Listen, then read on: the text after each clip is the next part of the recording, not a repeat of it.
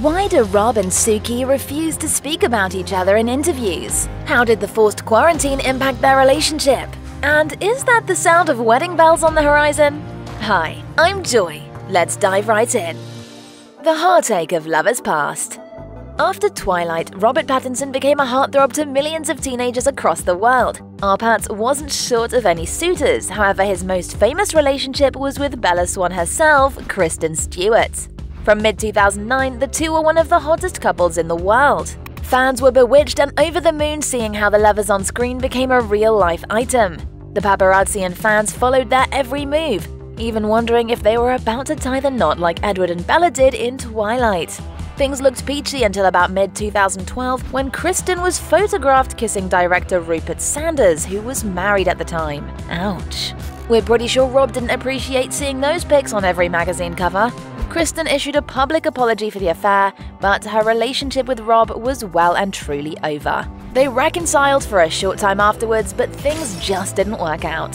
Since then, Rob became extremely private and reserved about his personal relationships, choosing to keep his love life out of the public sphere. You can't really blame him, can you? For model turned actress Suki Waterhouse, she also had her fair share of high profile relationships. From 2011 to 2013, she dated Miles Kane, the lead singer of the indie group Last Shadow Puppets. Miles described Suki as the love of his life and even claims his 2013 album Don't Forget Who You Are was inspired by her. Ah.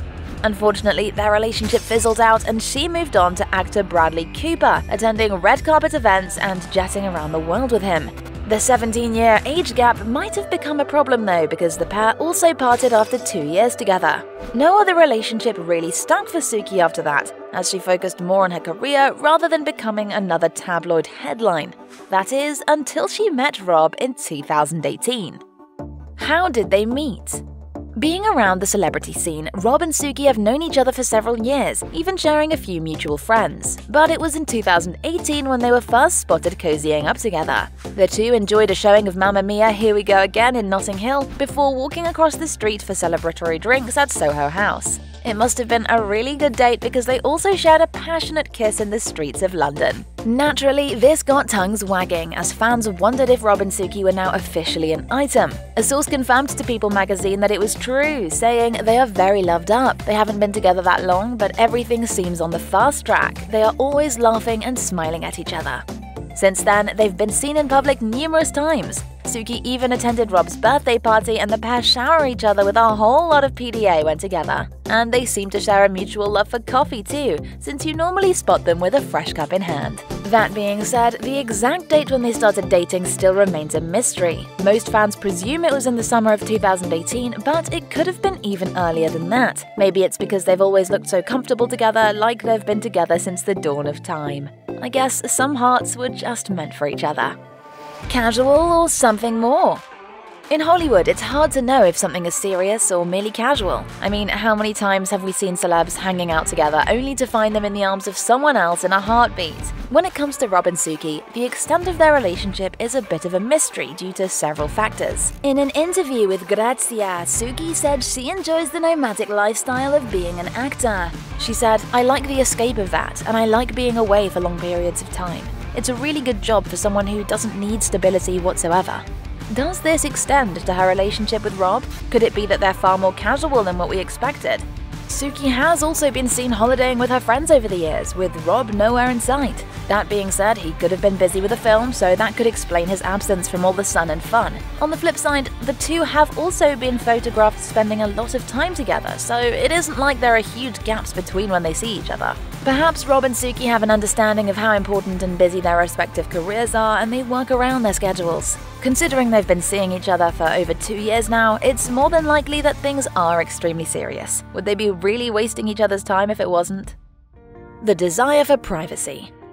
Being in the spotlight all the time can make you crave a little bit of normalcy once in a while. In the case of Rob and Suki, they've been in the headlines more times than they can count, so it's only natural that they're tired of all the trailing paparazzi, signing autographs, and answering personal questions every time they step out in public. As a result, they've adopted the motto of kiss and don't tell, being extremely private about their relationship.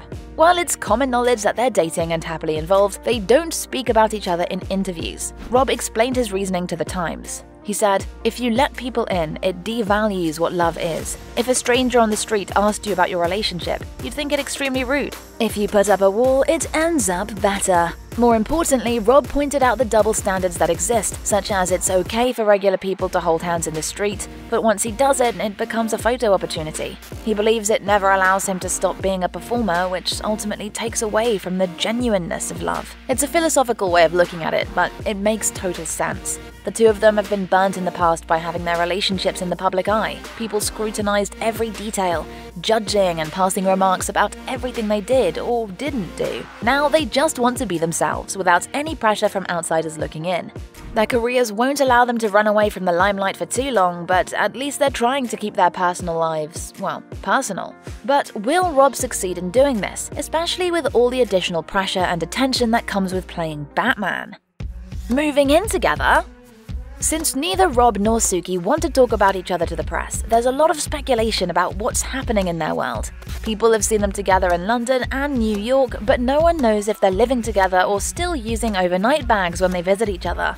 Or maybe they just leave behind a toothbrush and a clean pair of underwear at the other's apartment. Whichever way, 2020 threw a huge curveball in their direction, forcing them to spend a lot more time together than they might have initially expected.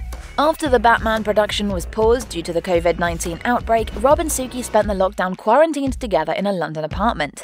The two were spotted going grocery shopping and trying to live some semblance of a normal life in strange times. Though in an interview with GQ, Rob did reveal his interesting choice of ingredients for preparing a pasta dish. Let's just say that we hope that Suki's the one doing the cooking on most days, for both their sakes. Glued to the hip, they've spent an awful lot of time together over the past few months, and they don't look tired of each other's company at all. In fact, they still look as loved up as the first time we saw them out in public in 2018. The true test, though, will be what happens after Rob finishes shooting The Batman and heads back home to Los Angeles. Will Suki follow him? Maybe they might actually enjoy some time apart and moving in permanently isn't on the cards just yet. Absence does make the heart grow fonder, right? Ding ding! Are those wedding bells? All R-Patz stands will know that he was engaged to FKA Twigs once upon a time. While that relationship didn't last, it's good to see that he didn't give up on love. In fact, he might have popped the question again if rumors are to be believed. According to the Daily Mail, Suki sported a little bling on her left ring finger at a Dior dinner party earlier this year. Of course, neither of them have commented on the engagement rumors, but it wouldn't be too surprising if it's true. The two of them have been together for a couple of years, so it's only natural that they'd take their relationship to the next step. One thing's for certain though, Rob will likely end up with a celeb wife, and he has admitted as much. Chatting to Howard Stern, he revealed that it's difficult to date someone who's outside of the celebrity circle. He mentioned how there are power imbalances and the world of celebrity can intimidate those who aren't a part of it. Maybe that's why he and Suki get along so well.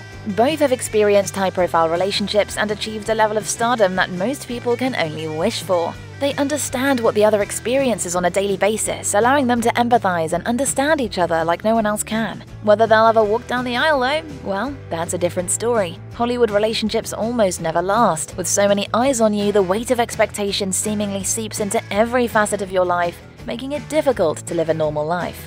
Maybe they'll be the exception to the rule here, but the odds aren't exactly in their favor. There's no doubt that everyone is rooting for Rob and Suki's relationship, though. The two make quite the pair and seem to be truly and madly in love with each other. So hopefully, this is one relationship that stands the test of time. But what do you think? Are they just two free spirits doomed to walk the earth alone? Or could this be the first step in a very long love story? Thanks for watching and let us know what you think in the comments section below. And while you're at it, don't forget to subscribe.